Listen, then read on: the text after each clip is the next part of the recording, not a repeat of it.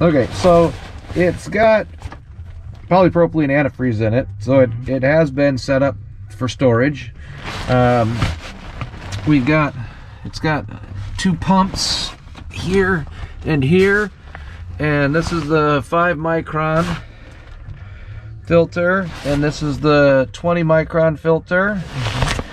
Here's our feed water pressure. So that's the way to, to you know, ensure, it's gonna be a little shaky. And then here's how many gallons an hour it's gonna make. And this is zero to 25, so usually it's in the middle. I'm guessing it puts out 12 or so, we'll find out. And then it's got a, a run and a flush valve, and that's for, I'm assuming, your fresh water because it has the charcoal filter in it. And so we bring feed water in, and just in case you just put water in at the dock, it doesn't look like you have the automatic uh, flush feature, so you just, you know, take care of that on your own. But I'm sure if we turn this, the potable water pressure, we'd hear it run in and through the system. And then this valve is for run off service. I assume the service is where you can put a a pickling cartridge in it and and uh, and let it recirculate is normally what happens. Um, and then we still have to find the Clark pump. Okay, so we just pulled the sails up and out of here, and there is the Clark pump that does the work. And um, this is that pressure relief valve. And um, there's two different models. I remember them telling me. And then it looks like you've got a standard 40 inch membrane back in there behind it. So, um, we also have, it looks like this is the sea strainer right here. Um, and a line going down. So we just have to find out where the intake is. So as a new technician, you're going to follow this line down until you find the seacock. And everything else looks like it's contained nice and neat in this little space. Okay, so we got this extra spigot here at the galley. And most water makers that I've seen, um, this is a manual water maker as opposed to the fully automatic systems. And so generally what happens is we can select to pull our RO water out here. Uh-huh. So you could actually pull drinking water out without putting it in a tank if you think your tank has a funny taste. Um, and or for testing, For testing. the TDS, right? So we can figure out if we're in that ballpark of, of contamination. So normally we're looking for um, a valve to select between this and the uh, water tanks. And we also might have to call the other Mike and see which, if it goes into which water tank. Um, but we'll know by looking underneath here and following and seeing if we have one of those little black quarter inch hard lines, which is our product water in the lazarette, and just seeing if it's coming out here. Yeah, let's take a look. Take a look. There's Right gonna in. be some garbage to pull out here. It's all right. And recycling and garbage. There are vent lines to the tanks in here that I pull out and that Mike has encouraged me to plumb someday into the sink so I don't have to pull them out every time I start things up. Can you uh, get my phone? Okay, so this is how we do it, class. You don't know any, you know, you start following following things out. So there's the black line, and look at this. It goes right there, and sure enough, it's marked with sample and product. And so, and the other one would be tank. So there's our selector valve right there. And so we are going to, it's in the sample mode right now. And so we should be in good shape. So we now have identified all the bits and pieces, we think. The membrane and the Clark pump, all your pre-filters and everything. Um, what we're going to need to do is to, we'll check the book. We're going to run, we got to run it in, for quite a long time to make sure we get all of the pickling solution and all of the antifreeze out. And then all that polypropylene antifreeze out, the pink stuff. And then, because you don't want to push any of that through your membrane. So we're going to let it run for 45 minutes or I'll read the manual. It's not un-American to read the manual. and then, um, with, and we do that without pressure. And then once we crank up pressure, we found the, the valves and the selectors now. So it goes, um, The product water comes out through that three-way valve and then it'll come out in the sink here. And then we can actually test the water that's coming out of it. Okay, so Yeah. step one is going to be to read the directions. I already see the pressure relief is off. We'll go back there over it and we can turn it on and run it. We're going to need some clean filters. There's lots of those. We have there. filters too. Yeah, So yeah. before we start making water, we're going to uh, put some clean filters on it. Yeah. So, all right. Yeah. So we're just talking about this. So the boat has port and starboard tanks, and the product underneath the sink here, when we send it out, we don't know which tank it goes to. But generally, when you set a boat up like this, um, we would be uh, just leaving the starboard tank full, kind of our backup water, and then the port tank over here, we would just use it, and every day or two, we would uh, run it and add water. Ooh, I like that inspection port. What a nice way to go. Ah, very nice. Removable, there's your water tank gauge, but I don't see, without taking this off, if it has that black quarter inch line. I would call Mike, the previous owner, Yeah. And see if uh, if he knows, so just to verify that it is going into What- that, what- that port this, tank. though? Probably your vent and fill. There are three. Oh, and there's three. So if we have probably vent and fill, um, this potentially could be the RO water. I can look. It's right on the other side of the galley here. So let's, if I pop in over here, I could probably see if that is the case. Okay, so we're down in here and I can see the those are the hoses by the water tank and none of them match what we're looking for. But if I look over here, the product water is in this blue, it's like an electrical Carlon conduit. It's just a protection, I think. And I see it just heads up. And so we got to go up above the galley here. And Seth just opened this up. Look at this. There is the blue right there, which is just the protection.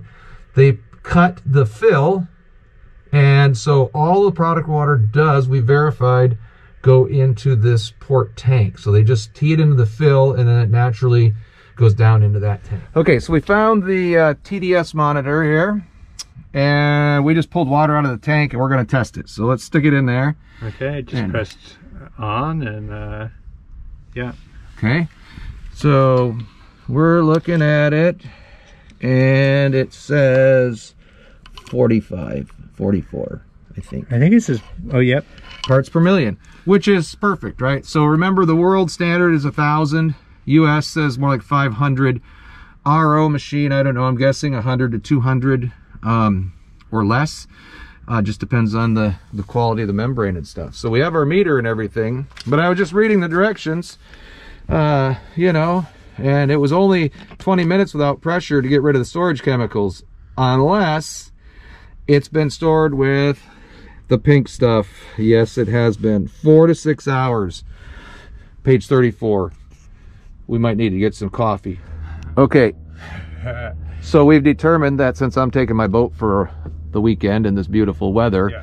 That uh, we're gonna leave Seth with his homework. They do say good four to six hours, and we want to follow the manufacturer's recommendations. So I'm gonna give you your your homework assignment, Seth, and you can run this.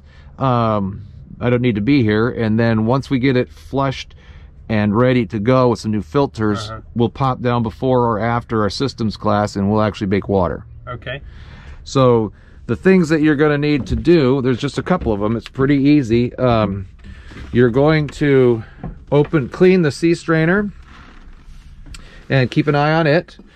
We've got the valve here open um, for your seawater. We have the pressure relief valve right here. It's backed out. It's only needs to be out a half a turn. It says it was out about six turns, so we'll open that a turn and a half. You just want to make sure that isn't leaking. And so what we're going to do is without pressure, it's just going to circulate seawater through it. We're going to turn on both both pumps. You got pump 1 and pump 2. And then um, you're going to run it for 6 hours and all you're doing is watching the water that goes overboard and looking in here periodically to make sure you don't have any leaks. You're just flushing salt water through it. Um, and then This valve will be in the run position here, which is where it normally is going to, to stay. When you're done and you want to put fresh water through the membrane, the first thing you have to do is put a new charcoal filter in here. And you'll have to turn off your pressure water pump and bleed the pressure off in your galley sink because otherwise you take this off, the water pump will just pump water all over the place. So, and then once that's done, you just turn this valve like that and hear the water go through Yep. and see it go through. That's our flush. So remember, it's not really a back flush when we did the water maker lesson. It's just taking fresh water from your tank and the charcoal filter will make sure there's no um, chlorine in it. And it just pushes itself through this entire system but the really the most important piece is just the membrane. And so after every run they're going to tell you two or three minutes of opening that valve to run a good amount of fresh water and just push all that salt water out. So after you run this thing for your six hours and it's nice and clean and you've changed that filter then just flush that for two or three minutes and uh, some fresh water through there and then we'll come back and, and part two is just to close the pressure relief valve. We got the test spigot and we will actually make water and test it. So, any questions? Clear as mud. Clear as Uh, mud. Yeah. Clear as uh as seawater. Okay, so we're down in here getting ready to do our flush and pump two comes on, works well, and we should be able to let that run for the four to six hours. The trouble is, pump one I turned on, the fan comes on, we have power, we have the circuit breakers on, and we were not getting any um, pump running. So these pumps do have a pressure switch on the bottom, and so that was the first thing that we went to test, and uh, sure enough, down in here, so troubleshooting, I could do a continuity check across the switch, but it'd be really hard to get in here. So we're just gonna put a paper clip in here and bypass the pressure switch because these pumps in an open system like that are never gonna reach pressure and shut off. Um, if it was a potable water pump, of course, we'd want it to run at low pressure, and if it got to whatever PSI, shut off. And so this will just verify that we need to replace that switch. Um, but we would like to know if something's happening here. So and sure enough, we could get this and we could make water go. So it's a simple matter of replacing this uh, pressure switch if it's needed. I'm going to call the uh, local Spectra guy and see. I think we can bypass that pressure switch and just let her run all the time. Is the way the system's designed. So, okay, so that's brine water overboard, just so you kind of get an idea what that looks like. Video not heard. Okay, so describe for me, Seth, what we've done so far. After we did our investigations, Okay. you had your homework, and what did you do down here? Uh, let's see. I replaced the charcoal filter, Yep. and um, before I did that, I closed the main the seacock that feeds all of this. And then once that, and I also cleaned out the sea strainer. Mm-hmm. Um, and so when that stuff was all done, I opened the seacock back up. I powered up pump one. Oh, actually, I put a jumper in there Mhm. to bypass To fix that problem, yep. Yeah. And um, and then basically powered up pump one, verified that brine was coming out of the brine output, and then I turned that off, powered up pump two because I saw that in the manual Yep. checked that that was working and then I had both powered up and I ran them for two hours on Thursday I think and then we have the long weekend and I run them for four more hours today so Okay. this is flushing out the Yep. the system Okay, and you have it still set to the test spigot, right? I believe so So what we're gonna do now is we're gonna just close that pressure relief valve.